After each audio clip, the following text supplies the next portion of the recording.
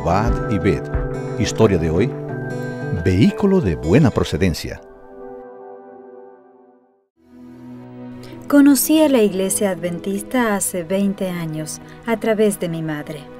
Sin embargo, hace solo tres años que acepté el mensaje y me bauticé. Yo rogaba a diario para que mi marido también estuviera a mi lado en la iglesia.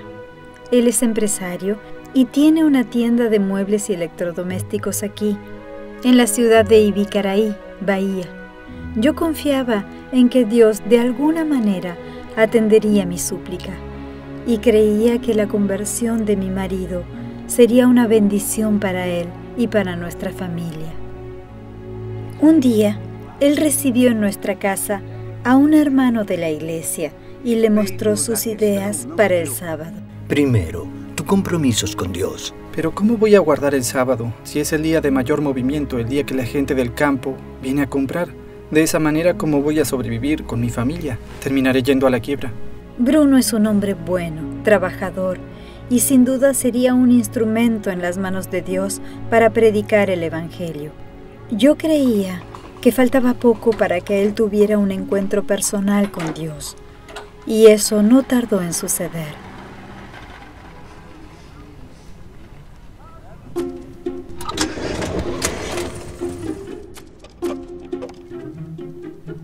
No puedo más. Llegué a mi límite con ese auto. Se rompió de nuevo en la avenida.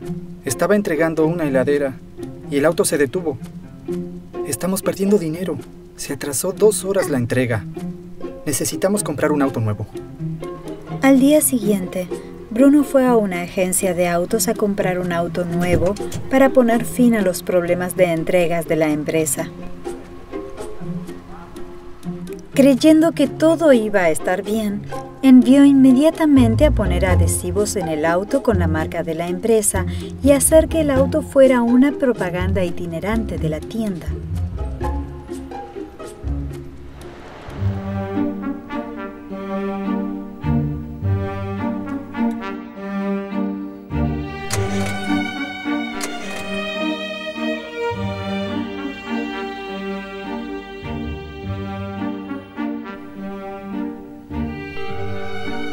Bruno, he venido aquí para hacer una entrega. Subí la heladera y el auto se paró. No es posible que se haya roto, está en garantía. Le di arranque y nada, nada, nada. Espera un minuto que voy allí a remolcar el auto. Chao. Hola, ¿quién está hablando? Hola, Antonio. Soy Bruno. Usted me vendió el auto el miércoles. Bueno, la verdad es que el auto ya tuvo un problema hoy mismo, sábado. ¿El auto se detuvo? ¿Cómo? Bruno, eso no es posible. Ese auto fue bien revisado. Es todo original. No, no, no. Inclusive sus propietarios son adventistas. ¿Qué voy a hacer? No hay problema, Bruno. Puedes traerlo aquí que vamos a hablar. No te preocupes. Está bien, Antonio. Está bien. Voy a remolcar el auto hasta la tienda y el lunes vamos a hablar. Era lo que me faltaba. El auto es adventista, no trabaja los sábados. Llevamos el auto enfrente de la tienda. Al día siguiente, un domingo, tratando de entender lo que había pasado, por la mañana subí al auto y le di arranque. El motor arrancó con la llave.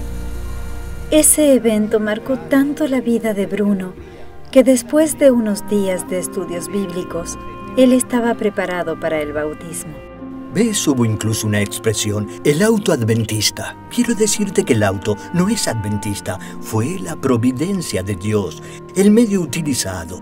Y por ese medio, algo importante, tú escuchaste la voz de Dios. Ahí estaba la respuesta a mis oraciones. A mi marido lo estaban bautizando para confirmar la promesa que Dios había hecho en mi corazón y yo nunca dejé de creer.